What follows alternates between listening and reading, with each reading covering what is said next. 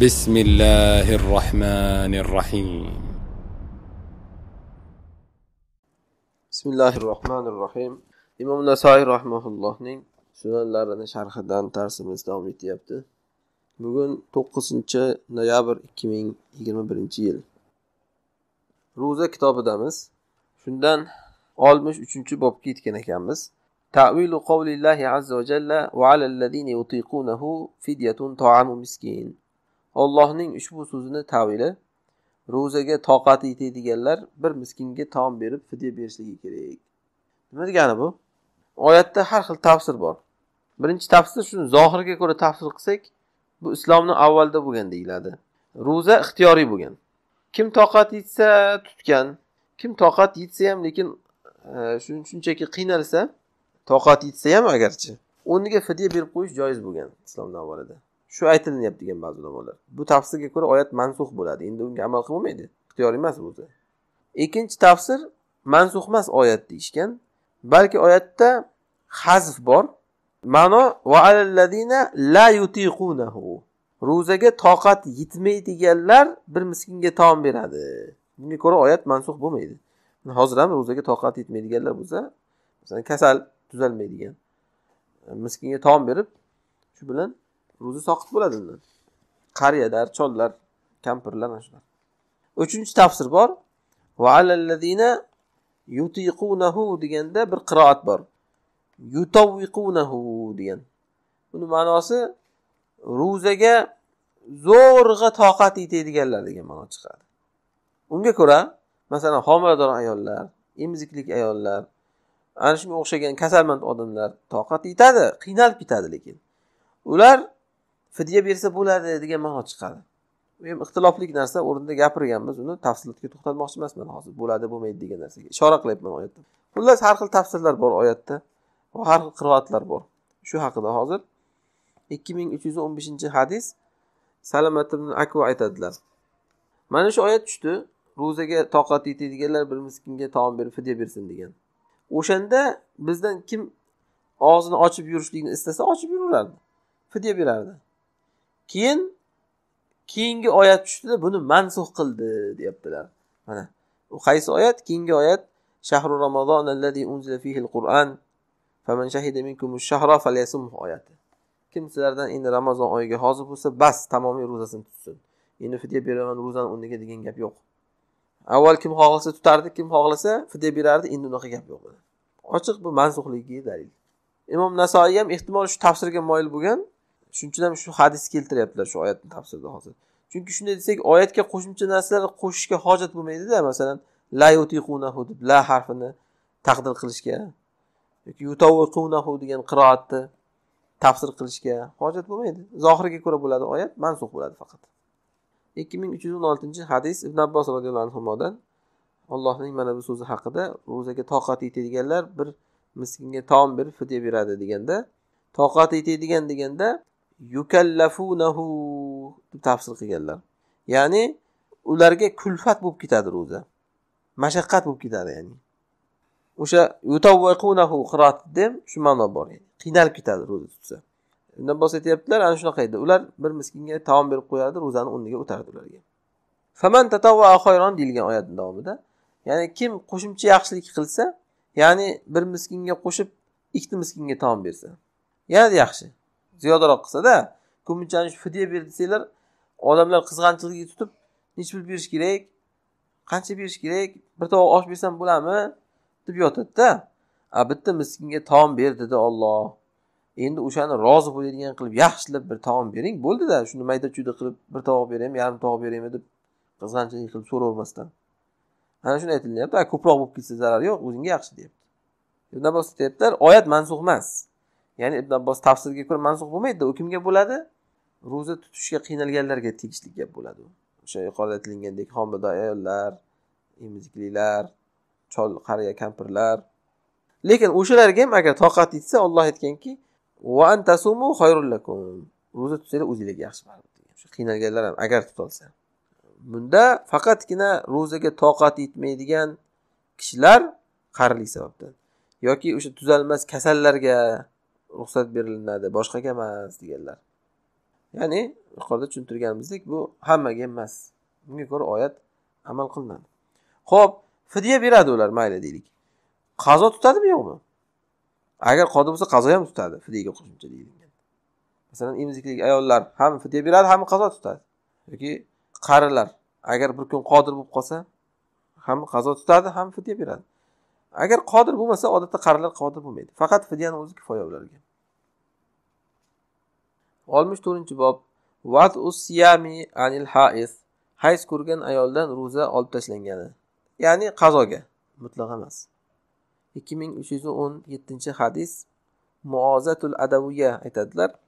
Bir ayol oysha onamizdan so'radi. Hayz ko'rgan ayol namozni qazo qiladimi toza bo'lgandan keyin? Shunda oysha onamiz aytdilar aharuriyatun anti sen haruriylikmisan deganlar. Ya'ni haruriy havorijlar turgan joyni nomi iroqdagi bir shahar. Haruro shahriga nisbat beriladi. Nimaga endi kufani yaqinda o'sha shahar? Nima uchun endi sen o'sha havorijlardanmisan deganlar u ayolga? Chunki havorijlar inson bir amalni tark qilishligini kufr deb biladiku. Ular shuning uchun hayz masalasida juda qattiq olgan mutashaddid bo'lishgan va go'yoki ana shu e, namozni mana tark qilgandek hayz vaqtida ro'zani ham tark qilish kerak e, umuman qazosi ham bo'lmaydi uni degandek gaplarni chiqargan bo'lgan ular.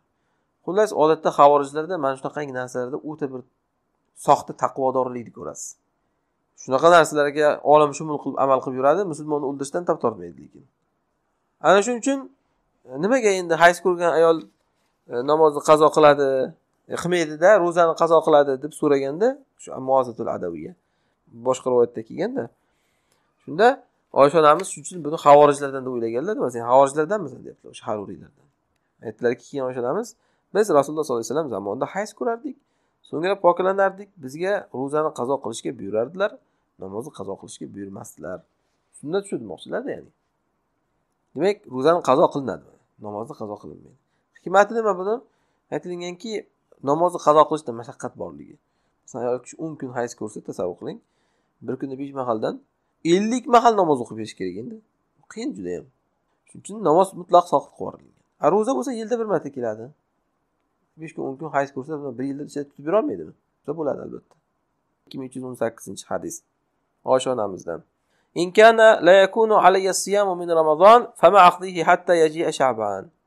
Meni zimmamda ramazon ro'zasi bo'lardi. Keyin shabon kelgunga qadar uni tutolmasdim deganlar. Ya'ni e, bunda ham hozir demak tutishga dalil tutolmasdim deganliklari tutish kerak ekanda e, uni ma'nosini sharhladik nima uchun tutolmaganliklarini o'tgan boblarda. Hozir bu emas. Maqsad bu hadisdan mana tutish kerak ekan. Keyingi yilgacha endi shabon deganliklari dalilki imkon qadar keyingi yildan qoldirmaslik kerak shuning aytyaptilar shabongacha masalan ramazongacha demayaptilarda shabongacha tutolmasdan bu degani shabonda tutardim degani chiqadi oltmish beshinchi bob إذا طهرت الحائض أو قادم المسافر في رمضان هل يصوم بقية يومه agar hayz ko'rgan ayol poklansa hayzidan yoki musofir odam ramazonda kelsa muqim bo'lsa qolgan kunni tutib berish kerakmi misol uchun bir ayol peshinda hayz to'xtadi. Hali shomgacha olti soat bor masalan. Endi peshingacha yeb ichib yuruvdi. Peshindan keyin to'xtash kerakmi? Toza bo'ldim deb. Yoki bir musofir odam musofirman deb ro'za tutmay yurgandi peshinda qaytib keldi uyiga kechqurungacha ovqat yemasligi kerak endi muqim bo'ldiku ikki ming uch yuz o'n to'qqizinchi hadis muhammad ibn soyfiy aytadilar. Rasululloh sollallohu alayhi vasallam ashuro kuni haqida aytdilar. Aminkum ahadun akalal yawma? فقالوا منا من صام ومنا من لم يصم قال فأتموا بقية يومكم وابعثوا إلى أهل العروض فليتموا بقية يومهم ashuro kuni rasululloh sollallohu alayhi vasallam aytganlar sizlardan biror kishi bugun biror narsa yeb qo'ydimi deganlar odamlar aytishdiki bizdan ro'za tutganlar ham bor ro'zadan bizdan ro'za tutmaganlar ham bor deyishdi rasululloh sollallohu alayhi vasallam aytdilar qolgan kuninglarni tamomiy qilib qo'yaveringlar va qishloq ahllariga ham odam jo'natinglar ular ham qolgan kunlarini tamomiy qilib qo'yaversin deganlar. Ahlul aruz degani makka madinani atrofidagi shaharlar ya'ni hammaga odam jo'natinglar qolgan kunini tamomiy qilib qo'ysin deyaptilar. Ya'ni ashuro kuni ro'zasini bilamiz. Muharram oyining o'ninchi kunini ro'zasi fazilatlik. Endi shunda rasululloh sollallohu alayhi vasallam odamlarga aytyaptilarki bu birinchi marta joriy qilayotgan bo'lganlar bu sunnatni shunda. Ro'za tutganlar bo'lsa yaxshi deyaptilar. Tutmaganlar shu paytgacha biror narsa yeb ichib yurgan odam bo'lsa ham to'ldirib qo'ysin qolgan kunini deyaptilar endi. Ya'ni shu hozirdan boshlab yemasin hech narsa kechqurungacha demak mana shu hadisdan hozir dalil olyaptilar imom nasoiy yuqoridagi masalaga. Ya'ni bir odam musofir bo'lib qaytib kelsa uyiga qolgan kunini yemay ichmay o'tirish kerak endi. Xuddi shuningdek bir ayol hayz ko'rib toza bo'lib qolsa qolgan kunini o'sha kundan ya'ni peshindan masalan shomgacha yemay ichmay o'tirish kerak endi. Jimo ham halol emas. Yarim kunni bo'lsa ham sabr qilib kutish kerak ekanda yoki bir soat bo'lsa ham qancha bo'lsa ham oltmish oltinchi bob.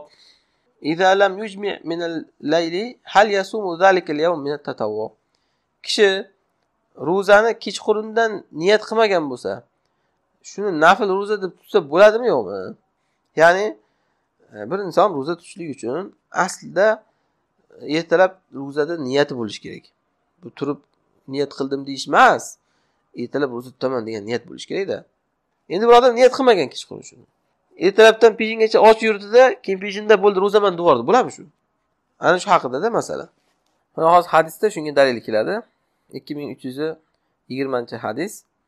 Yuqoridagi hadis ekan bu ham aslida salama aytadilar. Rasululloh sollallohu alayhi vasallam bir kishiga aytdilar. Azzin yawma ashuro man kana akala falyutimma baqiyata yawmi va man lam yakun akala falyasum. Ashuro kuni odamlarga e'lon ber dedilar. Kim? Agar biror narsa yeb qo'ygan bo'lsa ham qolgan kunini tamomiy qilaversin. Va kim hali yemagan bo'lsa ro'za tutsin dedilar. Birinchi qismini sharhladik hadisni hattoki yeb qo'ygan bo'lsa ham e, davom ettirib qo'yish kerak. Masalan musofir odam qaytsa hayz ko'rgan ayol hayz tugasa dedik. Ho'p yemaganlar bo'lsa deyaptilar qarang kun yarim bo'lgan endi bu yerda. Ro'za tutaversin deyaptilar. Demak mana shu ochiq dalilki nafl ro'zalarda imom nasaiy ham hozir nafl deb aytdilar shuning uchun uni kunni yarmigacha ham niyat qilib yuborsa bo'laveradi. Masalan yurdik yurdik ro'za niyatimiz yo'q edi o'zi keyin kun yarmida qarasak o'zi shundoq ham asr bo'ladi ikki soatdan keyin hozir. Bo'ldi endi ro'za tutib qo'yaveraylik desak bo'ladi. Garchi e, niyat qilmagan bo'lsakda avvaldan.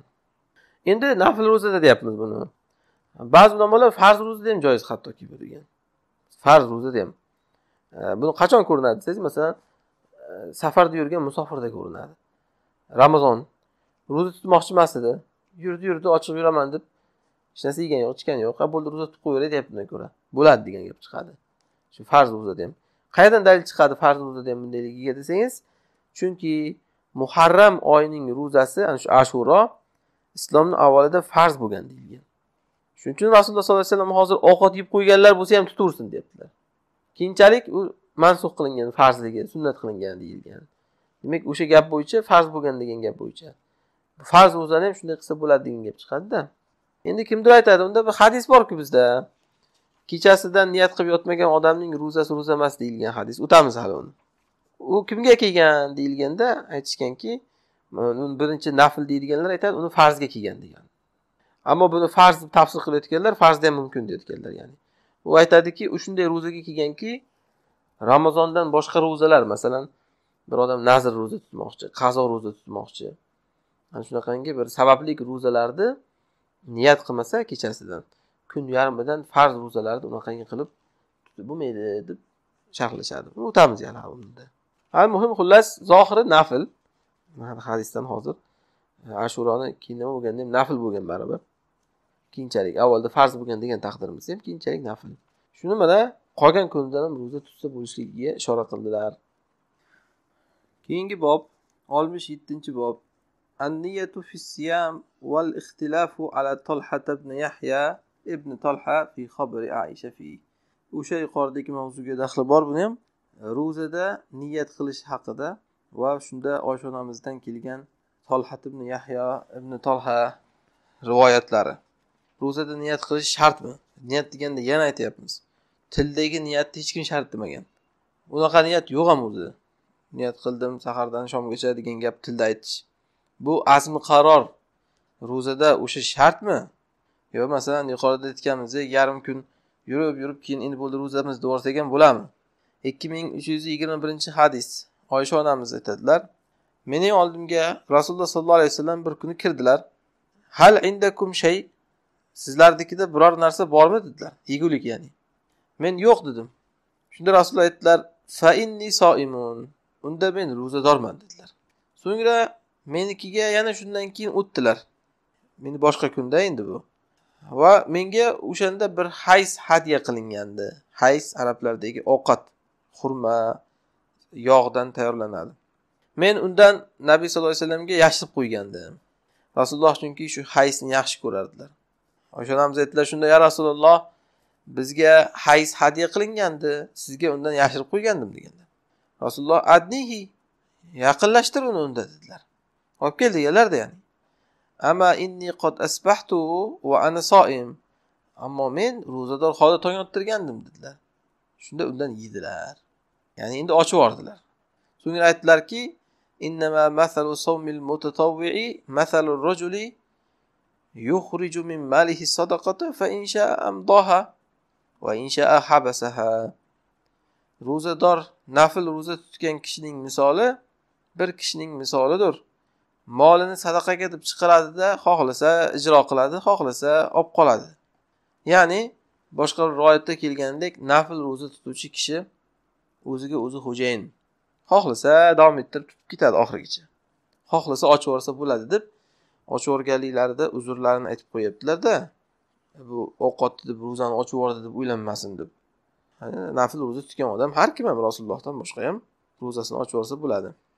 Xususan arab diyorlarida ovqat har doim muhayyo bo'lavermagan uni yemasangiz achib qolgan shomgacha kutsangiz agar.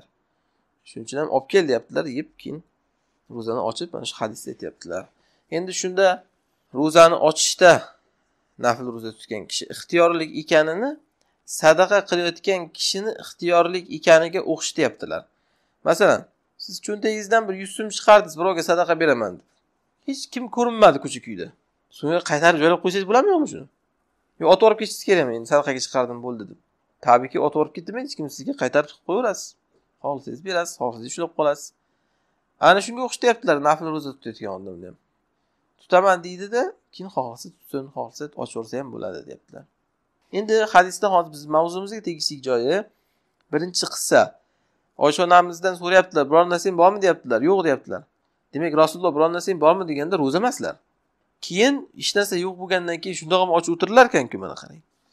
Undan ko'ra ro'za niyatida ochib o'tirsak nima qilibdi bekorga ochib o'tirgandan to'g'rimi? Shuning uchun men ro'zadorman deyaptilar. Demak mana shu ochiq dalil niyat xususan nafl ro'zada kechqurundan bo'lgan bo'lishi shart emas. Kunni yarmida niyat qilsangiz ham allohni fazl marhamati bilan masalan peshingacha niyat qilmay yurganingizni ham ro'zaga aylantirib beradi olloh ho'p endi ana shu hadisda bitta rasululloh sollallohu alayhi vasallamni odoblari. Biror narsang bormi deyaptilar oysha onamiz yo'q deyaptilar. Unda ro'zadorman deb qo'yaveryaptilar qarang. Shunaqa bo'lsa hozirgi holatda nima bo'ladi? Aksar holatda shu erkaklar xotiniga qo'yib yuboradida menga qarab bezrayib yo'q deysan tayyorlab o'tirsang bo'lmaydimi? deydi. Nima qilib o'tiribsan uyda deydi. Lekin rasululloh sallallohu alayhi vasallam ro'zador bo'lib qo'yaverganlar qarang. Ana shunaqangi muammolarni ibodatga aylantirib yuborganlar. Hozir janjalga aylantirib yuboriladi ko'ryapsizmi? Farqimizni keyin erkaklarga hozir xotinlar yo'q deb bo'lmaydi. Nima menga bezrayib yo'q deysan deydi.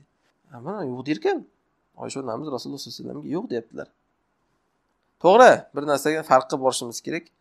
Oysha onamiz bu yerda hozir dangasalikdan yo'q deyotganlari yo'q. Hamma narsa muhayyoda uyda keyin yotibdilar hech narsa tayyorlamay shuning uchun yo'q deyotganlar emas.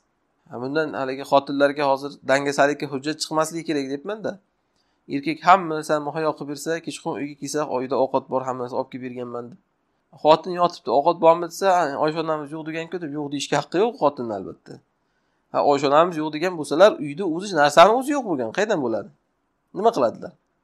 Ammo erkak hamma narsani tayyorlab qo'ygan bo'lsa endi xotin kishini vazifasi bu yog'i mana shuni tasdig'i keyingi qissada oysha onamiz birov hadya qilsa ham shuni rasulullohga deb yashirib olib qo'yyaptilar mana qarang ha kelsalar yo'q deymanda deb o'zlari yeb ichib yoki bir nima qilib yuborganlari yo'q. Undan rasulullohga yashirib qo'ydim deyaptilar.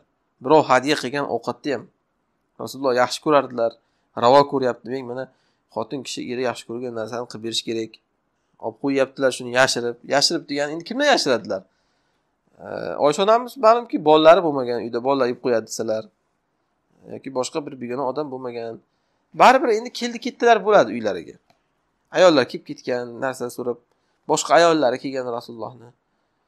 Shunaqa paytda e, ular olib ketib qolmasin ular rasulullohga bergan kishi bo'lib yoki e, rasululloh yesin ular yegandan deb e, shuning uchun yashirib qo'yganlar. Bu qizg'anchiqlik emas. O'zlari uchun yashirib qo'ysalar ekan qizg'anchiqlik desa bo'ladi buni inson birovga ravo ko'rib bir narsani yashirib ko'rishi yashirib qo'yishi u qizg'anchilik emas. O'zi uchun yashirib qo'yishi u qizg'anchiqlik deyiladi. Endi hozir bu yerda keyin shuni qazosini tutib berish kerakmi yo'qmi? Unga to'xtalinmayapti. Boshqa rivoyatlarda suma yoman makanah deb kelgan. O'tamiz yana hali. O'rniga boshqa kun o'zi tutib beringlar deyilgan. Nafl ro'zani ochib yuborganda oysha onamiz bilan hafsa onamizga aytganlar. Demak ochib yuborsa nafl ro'zani o'rniga tutib bersa yaxshi. Buni farz yoki naflligida ixtilof bor. Hanafiylar farz deydi boshqa ulamolar nafl deb tutib beradi deydi. ikki ming uch yuz yigirma ikkinchi hadis oysha onamizdan. Bu ham o'sha qissa. Menga rasululloh sollallohu alayhi vasallam navbatlari aylanib keldi. Menga aytdilar senda biror narsa bormi? dedilar. Men aytdim menda hech narsa yo'q dedim. Rasululloh aytdilar men ro'zadorman dedilar. Oysha onamiz aytdilar so'ngra ikkinchi marta mana yana navbatlari aylanib keldi. Bizga o'shanda hayz hadya qilingandi. Hayz o'sha xurma bilan yog'dan tayyorlanadigan taom. Shunda men uni olib keldim. Yedilar. Shunda rasulullohdan ajablandim. Aytdimki ya rasululloh meni oldimga ro'zador holda kirdingiz. So'ngra hayz yedingiz. Buzib yubordingiz ro'zangizni deyaptilarda rasululloh sollallohu alayhi vasallam ha ey oysha dedilar. Chunki ramazondan boshqa ro'za tutgan kishining manzilati yoki ramazon qazosidan boshqa ro'za tutgan kishining manzilati yoki o'sha nafl ro'zadagi kishining manzilati bir kishining manzilatidek ya'ni misolidek u molining sadaqasini chiqaradida undan sahiylik qiladi. Xohlaganicha xohlagan qismini berib yuboradi va undan xohlagan qismini olib qoladi. O'ziga ushlab qoladi deganlar. Baxillik qilib ushlab qoladi deyilibdi bu yerda hozir rivoyatda hadisni arabcha matnini o'qiylik. إنما منزلة من صام في غير رمضان أو غير رمضان أو غير قضاء رمضان أو في التطوع بمنزلة رجل أخرج صدقة ماله فجاد منها بما شاء فأمضاه وبخل منها بما بقي فأمسك oxirgi qismida o'sha bir kishini sadaqa qilgan kishining misolidir deyaptilar xohlaganini beradi saxiyligi tutib ketib keyin qizg'anchiqligi tutib ketadida xohlaganini olib qoladi deganlar ushlab qoladi o'ziga ro'za tutgan odam ham xuddi shunday xohlaganicha tutadi. Xohlagan joyda ochib olsa bo'ladi. Ikki ming uch yuz o'ttiz yigirma ikki ming uch yuz yigirma uchinchi hadis oysha roziyallohu anhu aytadilar. Rasululloh sollallohu alayhi vasallam kelardilar aytardilar sizlarda biror nonushta bormi? dedilar. Biz yo'q derdik. Aytardilar unda ro'zadorman dedilar. Bir kun keldilar bizga hayz hadya qilingandi. Bir narsa bormi? dedilar. Ha dedim. Ha dedik. Bizga hayz hays hadya qilindi dedik. Shunda rasululloh aytdilar ammo men ro'za tutib tong ottirgan edim dedilarda lekin yubordilar. Yuqoridagi qissa bu ham. Ikki ming ikki yuz ikki ming uch yuz yigirma to'rtinchi hadis bu ham shu oysha onamizdan umul mo'minin rasululloh sollallohu alayhi vasallam bir kuni biznikiga keldilar. Biz aytdik bizga hayz hadya qilindi. Undan sizga nasiba olib qo'ydik dedik. Rasululloh sollallohu alayhi vasallam inni soimun men ro'zador edim dedilarda ochib yubordilar ikki ming uch yuz o'ttiz beshinchi hadis oysha roziyallohu anhudan nabiy sallallohu alayhi vasallam kuchnikiga ro'zador holda kelar ekanlarda aytar ekanlar. Biror narsa sizlarnikida taomlanadigan bormi menga taom beradigan narsang bormi deganlar. Asbaha indakum shay'un tut'iminihi ya'ni menga taom beradigan narsang bormi deganlar. Biz yo'q dedik rasululloh unda men ro'zadorman dedilar so'ngra shundan keyin yana kelardilar. Oysha onamizga onamiz aytdilar bizga hadya qilin dedilar. Nima dedilar rasululloh? Hays dedi oysha onamiz rasululloh aytdilarki men ro'zador bo'lib tong ottirgan edim deb lekin yubordilar. ikki ming uch yuz yigirma oltinchi hadis. Oysha umul roziyallohu anhu aytdilar menga rasululloh sollallohu alayhi vasallam bir kuni kirdilar biror narsang bormi? dedilar. Yo'q dedik unda men ro'zadorman dedilar. ikki ming uch yuz yigirma yettinchi hadis. Oysha binti tolhati va mujohid oysha onamizdan rivoyat qiladilar. Rasululloh sollallohu alayhi vasallam u kishinikiga keldilar. Biror narsa taomlaring bormi dedilar. Men yo'q dedim. Unda men ro'zadorman dedilar. So'ngra boshqa bir kun keldilar yana. Oysha aytdilar ya rasululloh bizga hayz hadya qilingandi dedilar. Rasululloh uni chaqirdilar. Ammo men ro'zador bo'lib tong ottirgandim dedilarda yedilar. ikki ming uch yuz yigirma sakkizinchi hadis. Mujohid va ummu kulsum aytadilar. Rasululloh sollallohu alayhi vasallam oshnamiz oldiga kirdilar. Biror taominglar bormi dedilar. Keyin qissani davomi o'sha. Ikki ming uch yuz yigirma to'qqizinchi hadis. Oysha roziyallohu anhu umul mo'minindan aytadilar rasululloh sollallohu alayhi vasallam bir kun keldilar biror taominglar bormi dedilar. Men yo'q dedim. Aytdilar unda men ro'zadorman dedilar. Yana aytadilar yana bir marta boshqa marta yana menikiga kirdilar. Men aytdim ya rasululloh bizga hays hadya qilindi dedim.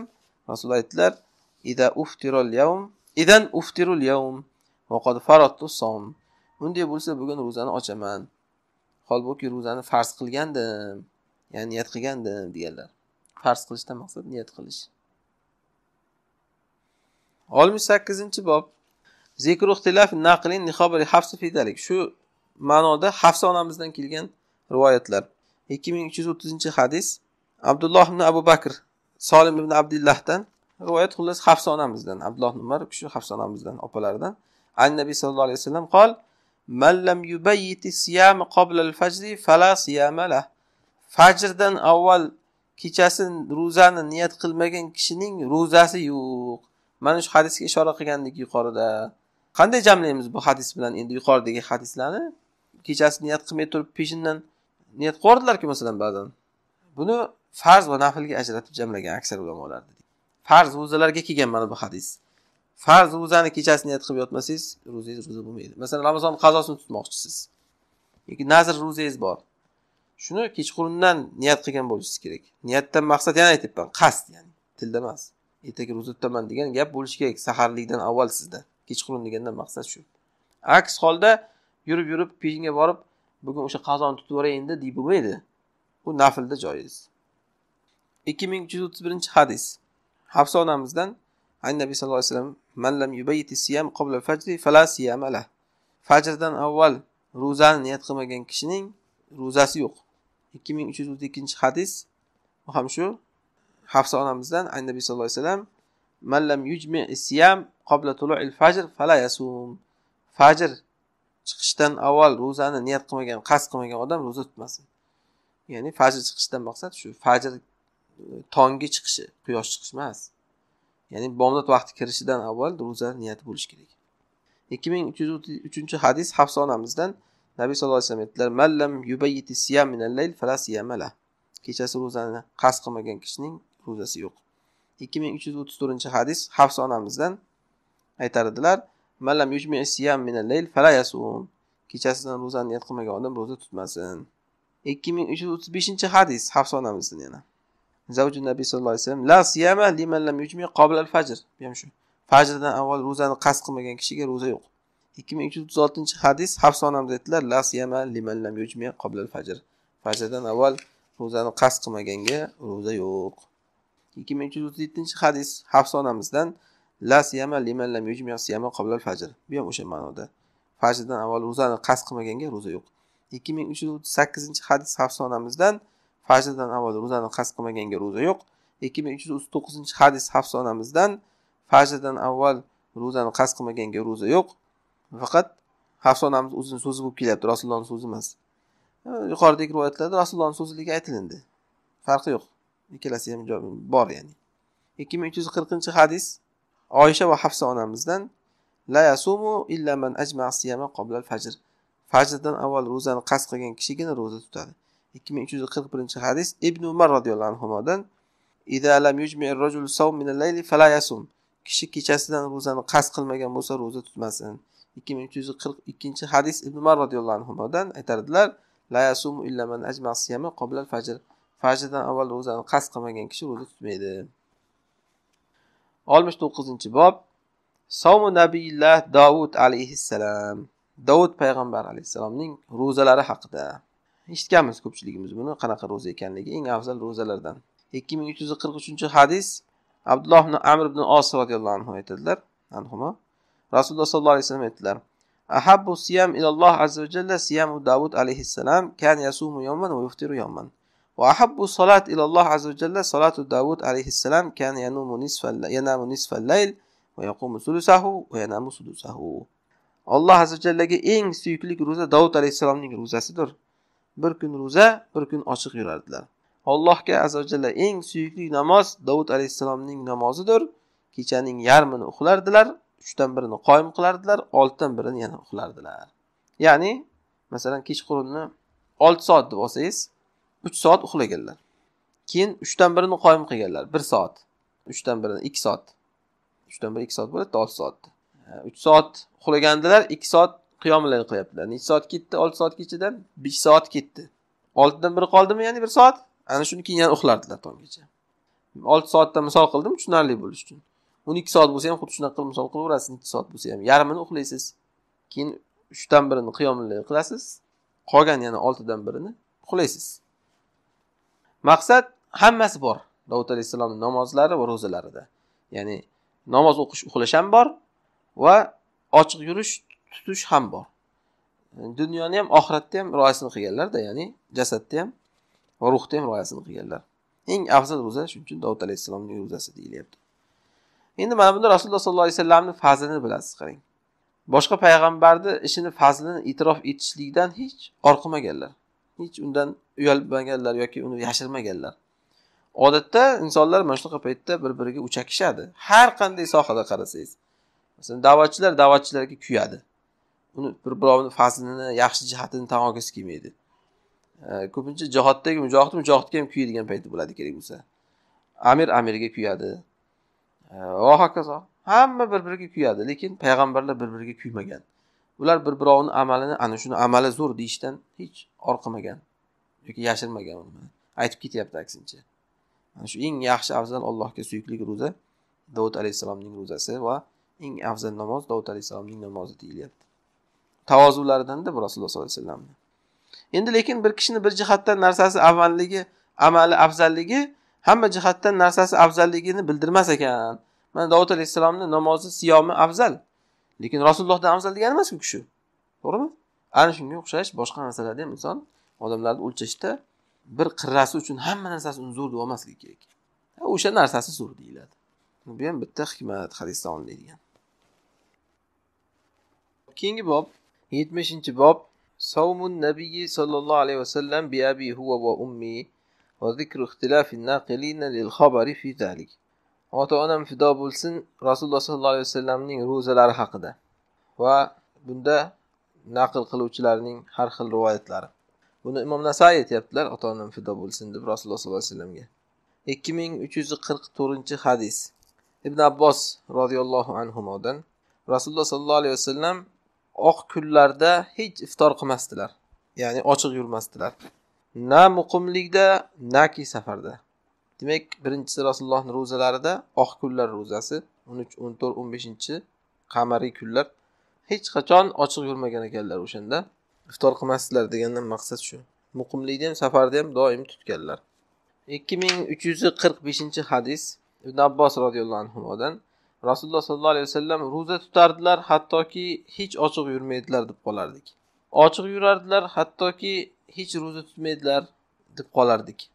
Va hech qachon ramazondan boshqa oyni ketma ket paydarpay bir oy ro'zasini tutmaganlar madinaga kelganlaridan beri.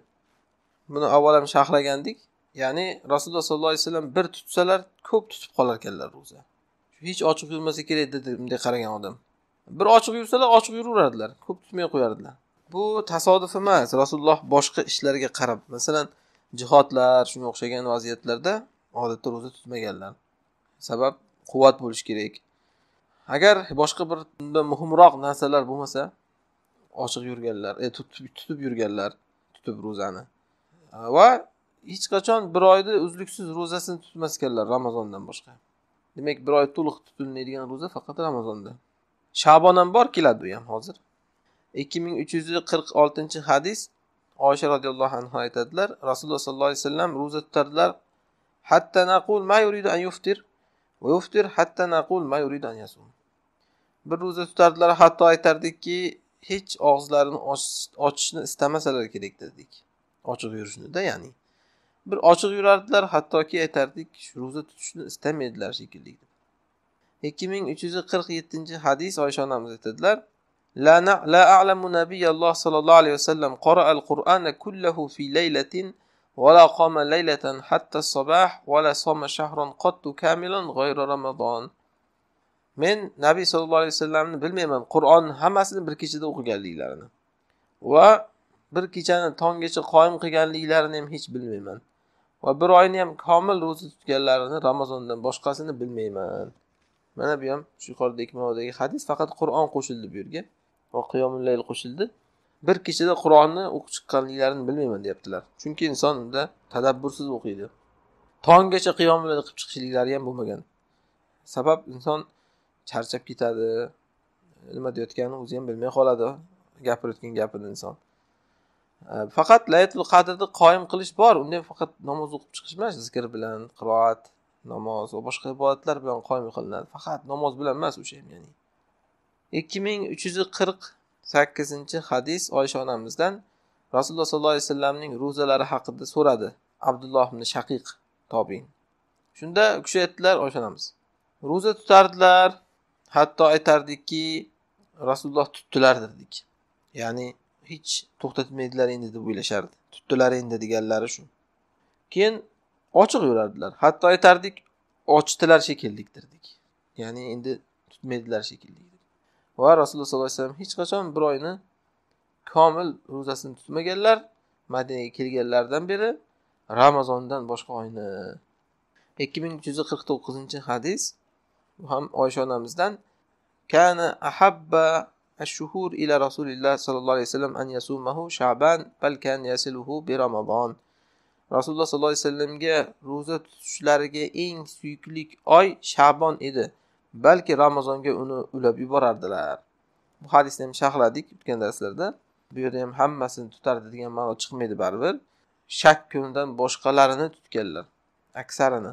Shuning uchun ham ulab yuborardilar deyaptilar. Ya'ni deyarli ulab yuborardi deganda. Buni sababini aytdik. Bunday deb sharhlayotganimiz sababi chunki shak kunni ro'zasini tutishdan qaytarilgan chunki. O'zlari qaytarib o'zlari tutmaydilarku. ikki ming uch yuz elliginchi hadis bu ham oysha onamizdan aytadilar rasululloh sollallohu alayhi vasallam ro'za tutardilar hattoki ochmaydilar deb aytardik. Ochib yurardilar hattoki tutmaydilar deb aytardik.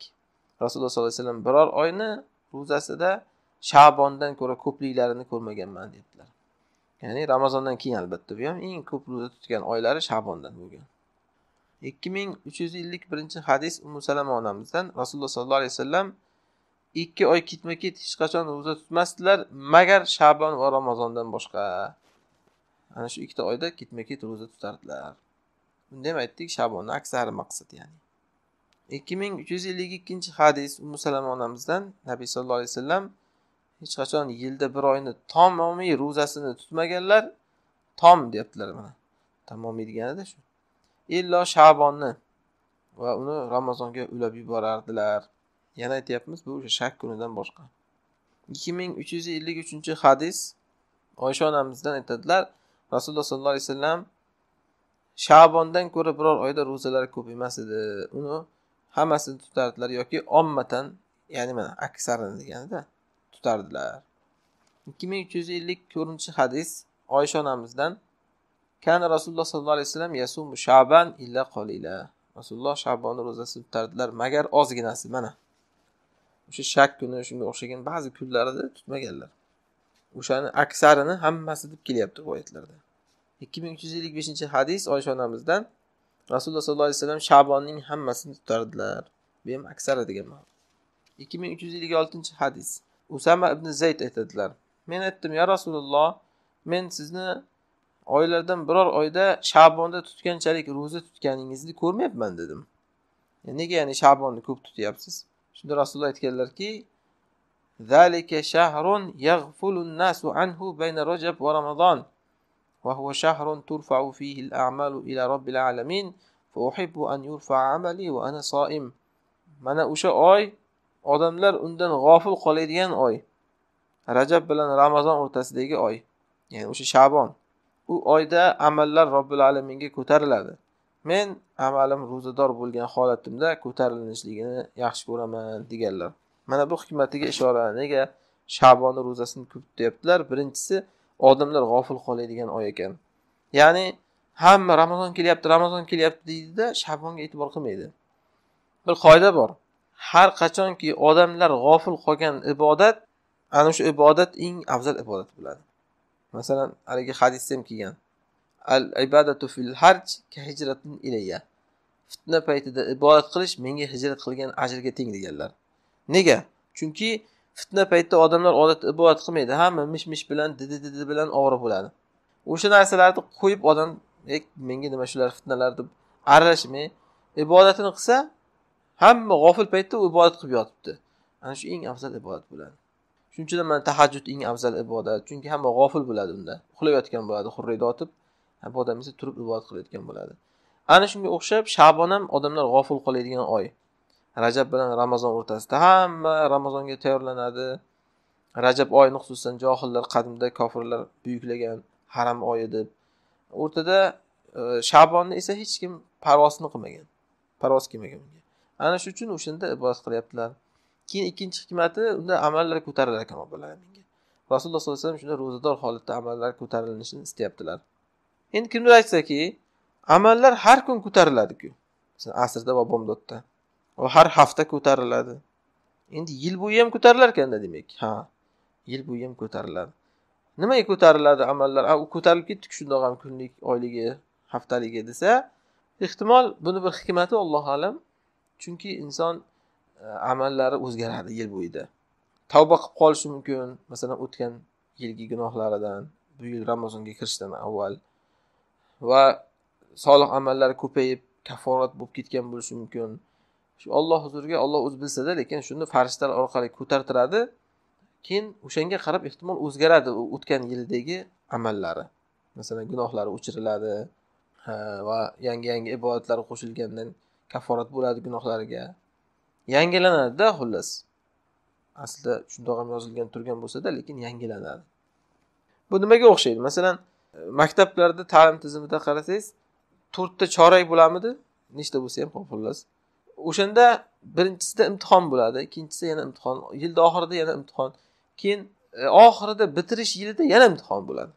To'g'rimi? Bitiruv imtihoni o'sha bir chorakda imtihon qilindi keyin yana yilni oxirida imtihon qilindi. Bo'ldida nima kerak yana? Bitirishda imtihon qilib desangiz aytadiki chunki odam o'zgaradida. Ehtimol yil bo'yi o'qib oxirida o'qimay qo'ygan bo'lishi mumkin. Yoki yil bo'yi o'qimay yurgan bilan endi oxirida tavba tazar o'qib o'qishni boshlagan bo'lishi mumkin. Xotimaga qarab hal qilinadi. Shunga o'xshayapti bu ham demoqchiman. Yil bo'yi gunohlar yoki amallar sarhisob qilinishligi e, garchi kunlik oylik haftalik qilinsada e, ehtimol o'zgargan bo'ladi chunki odam. Endi o'shanda ro'zador bo'lishni nima ma'nosi bor. Siz ibodat bilan mashg'ul bo'lsangiz ustiga ustak ajr bo'ladida bu.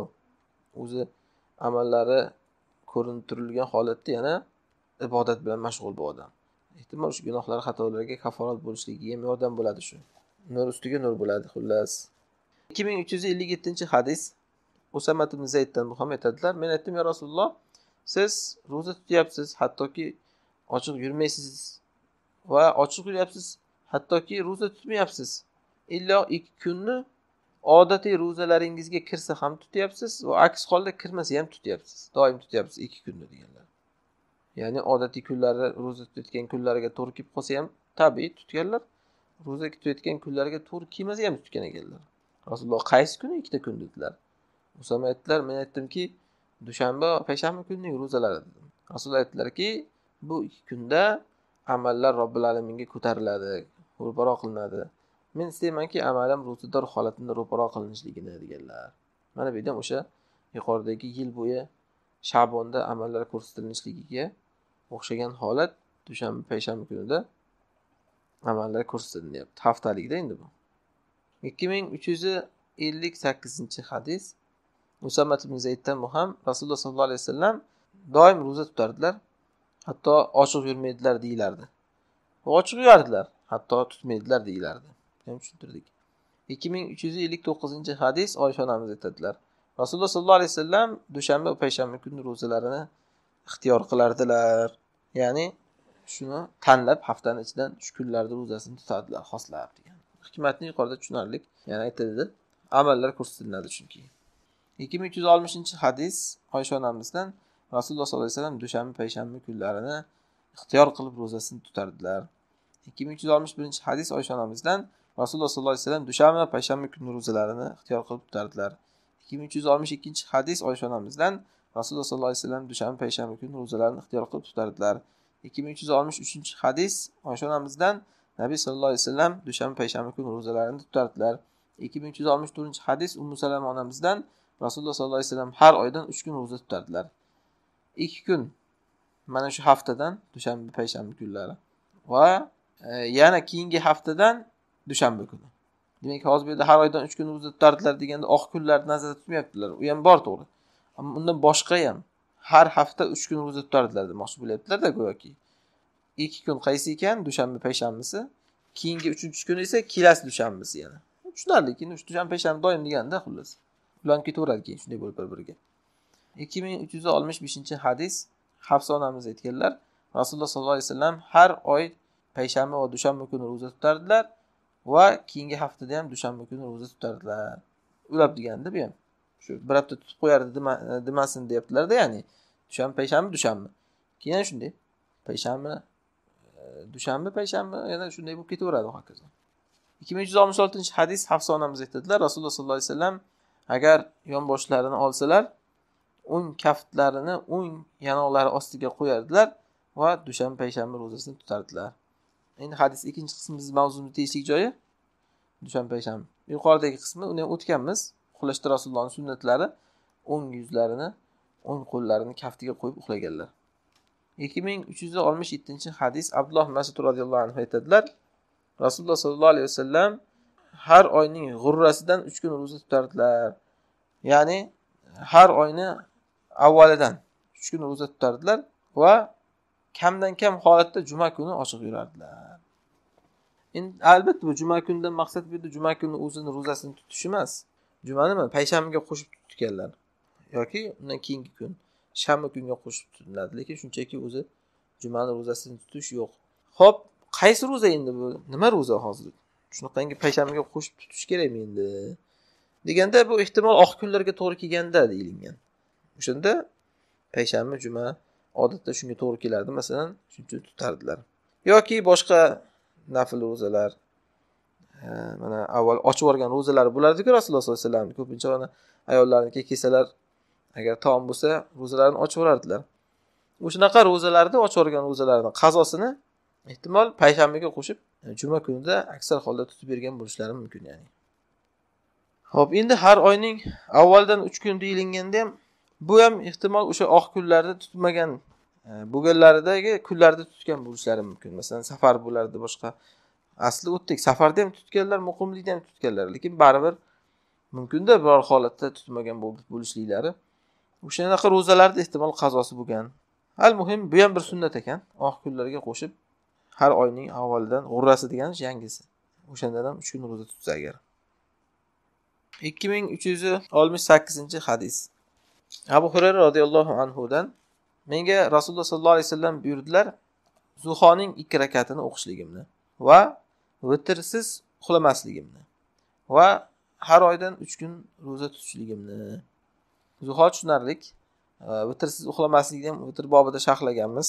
Uyg'onolmaydigan odam bo'lsa xususan vitrni o'qib yotish kerak. Uyg'onishni ko'zi yetsa kechani oxirida o'qigani afzal. Va mana har oydan uch kun bu xoh o'sha avvaldan bo'lsin. Xoh oq kunlardan bo'lsin afzal shu oq kunlardan ya'ni o'n uch o'n to'rt o'n beshinchi kunlari. Har oy deganda qamariy oy yana ta'kidlab o'tamiz. Bu milodiy oylar emas. ikki ming uch yuz oltmish to'qqizinchi hadis ibn abbos roziyallohu anhudan e, ashuro ro'zasi haqida so'raldi. U kishi aytdilar men payg'ambarimiz sallallohu alayhi vasallamni biror kunni bir fazlini istab boshqa kundan afzal deb ro'zasini tutganlarini bilmayman. Illo mana bu kunni ro'zasini tutardilar. Ya'ni ramazon oyini va ashura kunini deganlar. Demak sunnat demoqchilar. Ramazonni qanday boshqa kunlardan afzal deb ro'zasini tutish kerak bo'lsa ashurani ham xuddi shunday boshqa kunlardan afzal deb ro'zasini tutish kerak. Endi hozir bu yerda biror kunni bilmayman. Boshqa kundan afzal deb tutganliklarini ramazon va ashuradan boshqa deganlaridan chiqmaydi. Boshqa afzal kun yo'q ekan degan narsa. Chunki masalan boshqa qancha afzal kunlar borki arafani ro'zasi bor to'g'rimi? Unga o'xshagan zulhijja e, oyini o'n kunlik ro'zasi yoki e, xullas bor shunaqangi ro'zalar afzal ro'zalar. Bu yerda eng afzali demoqchilar. Ikkinchidan buni o'shani bilishlaridan avval aytganlar. Ibn abbos roziyallohu anhu boshqa kunlarni mana bu kunlardan ham afzal kunlar bor. Boshqa ya'ni undan boshqa kunlar ham bor degan narsani bilishlaridan avval aytgan bo'ladilar. Ikki ming uch yuz yetmishinchi hadis humayd ibn abdurahmon of aytadilar men moviy roziyallohu anhuni eshitdim. Ashuro kunida minbarda turib aytardilar. Ey ahli madina ulamolaring qani? Men rasululloh sollallohu alayhi vasallamni mana shu kunda aytganlarini eshitganman. Men ro'zadorman. Kim xohlasa ro'za tutishni istasa tutsin deganlar. Ya'ni moviy roziyallohu anhu amir bo'lgan paytlarida xalifa paytlarida xususan madinaga kelib xutba qilganlar. O'sha xutbada ulamolar qani deganlar bunday deganlarining sababi boshqa rivoyatda kelgan unda qo'lida bir parcha soch bo'lgan ayollar soch ulab yurganligini tovaganlar nima inkor qilmayapti buni ulamolar deganlar? Ikkinchidan mana bu yerda hozir bu mavzuda xosatan e, ashuro kuni ro'zasini tutish haqida odamlarni ichida ixtilof chiqqan bo'lgan. Ba'zilar tutish kerak desa ba'zilar tutmaslik kerak ashuroni ro'zasini degan shunaqangi ixtiloflar bo'lgan. Shuning uchun ulamolarni koyiganlar roziyallohu qani ulamolar nima qilyapti? Ya'ni odamlarga nima o'rgatmayapti? Men ro'za tutdim mana. Rasululloh aytganlar men ro'za tutdim bugun deganlar o'sha muharramda ashuroda va sizlardan ham kim ro'za tutishni istasa tutsin deganlar. Xullas ulamolar mana shunaqa narsalarni odamlarga o'rgatish kerakligini eslatyaptilar ashuroni ro'zasini tutish kerak. Ikki ming uch yuz yetmish birinchi hadis hunayda ibn xolid o'zining ayolidan rivoyat qiladi. Ayol aytadilar men menga ba'zi payg'ambarimizning ayollari aytib berdilar sallallohu alayhi vasallam. Nabiy sallallohu alayhi vasallam ashura kuni ro'zasini tutar ekanlar va zulhijjadan to'qqizinchisini mana arafa endi bu. Va har oydan uch kun ro'zasini tutar ekanlar avval avval isnayn min shahr har oydan avvalgi nimasini? Isnayn kunini ya'ni dushanba kunini har oyda avvalida. Va xomisayn va ikkita payshanbani uch kun. Endi bu yerda mana boshidan ham bo'lmayapti o'rtasidan ham bo'lmayapti. E, birinchi dushanba va ikkita payshanba har oydan. Shu tarzda ketaveradi. Birinchi dushanba har oydan. Keyin ikkita payshanba. Uch kun bo'ladi shunda. Zarar yo'q. Qaysi sunnatga amal qilsangiz ham muhimi hasanat o'n mislcha bo'ladi deyilgan shunda siz har oyda uch kun ro'za tutsangiz natijada o'ttiz kun qilib beriladi. U uch kunni o'rtadagi oq kunmi yoki avvaldagi uch kunmi yoki mana bu yerdagidek e, birinchisi dushanba harfdan birinchi dushanbasida va keyingi ikkita payshanbasimi al muhim shu fazilat inshaalloh hosil bo'ladi yani. mavzu davom etar ekan hali. Keyingi bobda yetmish birinchi bob doim ro'za tutish yo'qligi undan qaytarilgan uzluksiz ro'za tutish. Inshaalloh keyingi darsda ikki ming uch yuz yetmish ikkinchi hadisdan davom ettiramiz. Allohu alam.